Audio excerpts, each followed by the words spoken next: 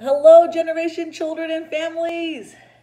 Um, just wanted to check in with everybody and see how you guys are doing, how you're holding up inside the house. I'm still inside mine. Um, just wanted to make sure you guys are watching this together. So if uh, your kids are not around, go grab them. I'll wait. Hopefully they're six feet away from you at least. No, I'm just kidding.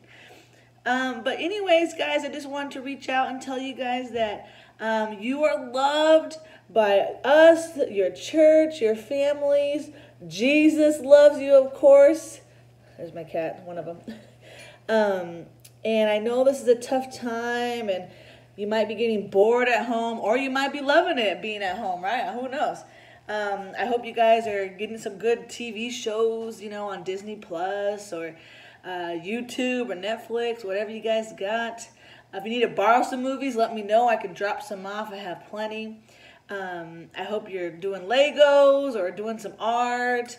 Uh, I hope you're reading. Uh, if you're not, uh, I hope your parents make you read something. I got books too, but the coolest book is the Bible, of course, right? Um, and I know it's been like forever since we were at church, but we were reading about uh, in Matthew, we can re- reread the book of Matthew and John, and they were talking about Jesus' life. Basically, remember he was born, and then he got um, dedicated as a baby, and then remember he like grew up, he got tempted, and then he got baptized. Remember all that crazy stuff? You know what I'm talking about?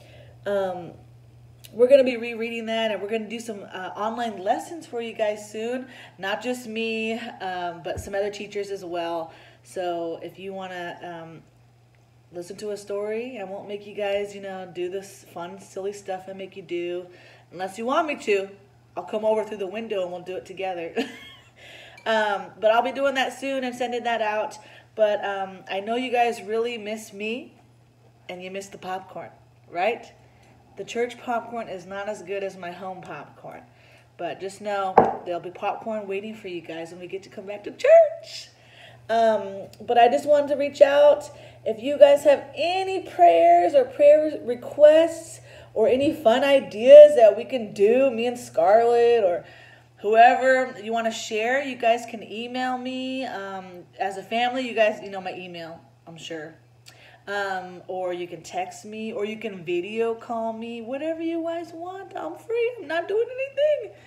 Um, so I just want to say I hope you guys have a great week. I hope you're hanging in there, and I hope you're following those Ten Commandments, obeying your mom and dad even when they get you mad because you've been hanging around them for too long, all day, 24 7.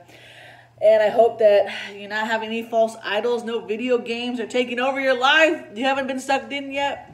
Um, I'm just kidding. But I hope you guys are uh, hanging in there and just let us know if you need anything. If you need toilet paper, I got some. Don't tell anybody, just you guys. But I love you guys and I hope you're doing well. Talk to you soon.